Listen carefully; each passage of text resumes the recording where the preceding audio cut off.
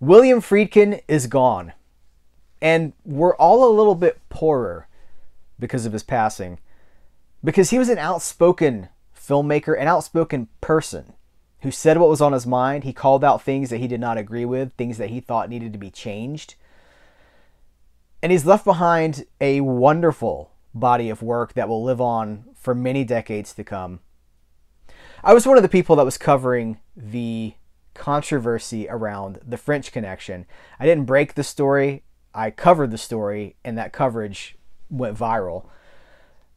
There was a line of dialogue removed from the French Connection, quietly removed. There was no announcement, there was no statement about it. That dialogue contained a racial slur that was there to inform us about what kind of character, what kind of person Popeye Doyle is in the movie. It wasn't an accident that it was there, it was there for a reason.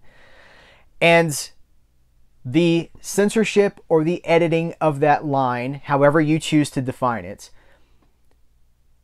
affects the theatrical prints that have been sent out. It affects the digital, the streaming versions of the movie, the digital purchase versions of the movie. It doesn't seem to affect any versions outside of the US. This is primarily a USA issue.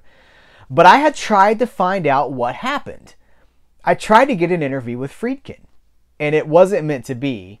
And now I understand that he probably wasn't well. And we have no statement from Friedkin about the controversy, about the removal of that dialogue. We don't know who did it. And it looks like we may never know who did it.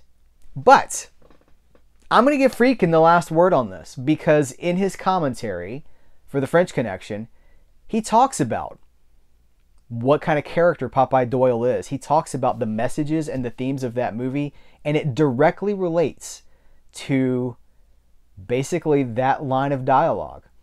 So, this is the last word, and uh, I think it tells us what we need to know. But you can be the judge. We'll let Friedkin speak for himself.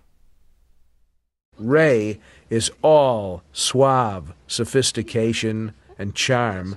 And this worked well for the film because Doyle, played by Hackman, is just the opposite.